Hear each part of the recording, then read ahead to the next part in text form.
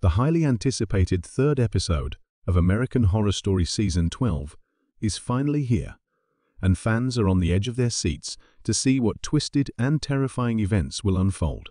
As we delve deeper into the mysterious town of Provincetown, things are only getting weirder and more sinister. Here's what you can expect from American Horror Story Season 12 Episode 3.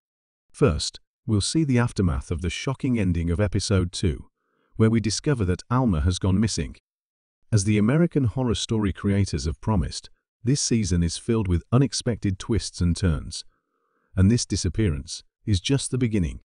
As Alma's husband, Harry, desperately tries to find answers, we'll see more of the disturbing rituals and sacrifices that are happening in Provincetown. But the horrors aren't limited to just Provincetown. As we saw,